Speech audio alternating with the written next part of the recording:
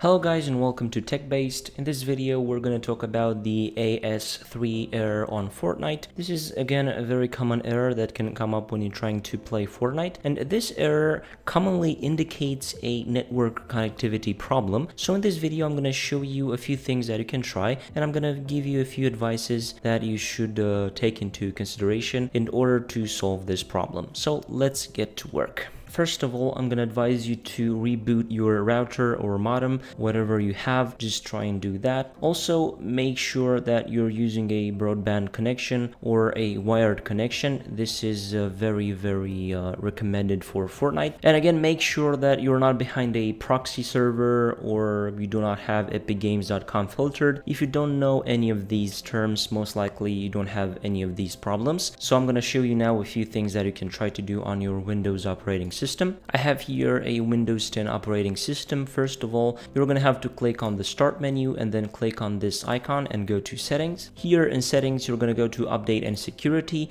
and we're going to disable our firewall or antivirus only temporarily because we have to see if our antivirus somehow blocks the connection to epicgames.com or the Fortnite official servers. So if you have a third-party antivirus installed, you should try to disable that. But in my case, I only have the Windows Defender. So I'm to click on Windows Security and then I'm to click on Virus and Threat Protection. A new window will pop up. You're to see here Virus and Threat Protection settings. Just click on Manage Settings and then click on this and then on the user account control click on yes and on cloud delivered protection again do that and real-time protection and cloud delivered protection will be now disabled. Only temporarily as I've said and now you should try to open Fortnite and see if the error is still there. If the problem is not solved we're gonna try to unlock or unblock some ports.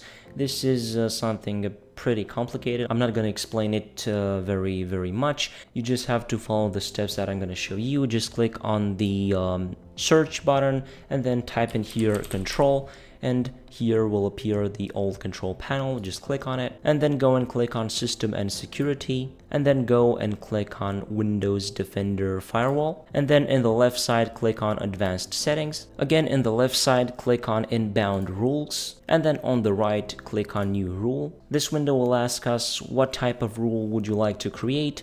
We're going to select port and then click on next. And the specific local ports, we're going to type in here 5222, comma, and then a space, 443, again, comma and space, 80 then click on next, click on next, again next, and in the name you can type in here UI4 and then click on finish. After you did all this, try to open Fortnite again and see if the problem is still there. These are some solutions that are recommended by the official Epic Games admins. So if none of these solutions worked for you and the error is still there, you should try to contact Epic Games directly. I'm going to leave you a link down below in the description where you can contact them directly and tell them about your problem. But I'm hoping that this video helped you and the problem is no longer there. Don't forget to subscribe if you're new here and click on that notification bell to be notified of the new videos that I post. And of course, give this video a thumbs up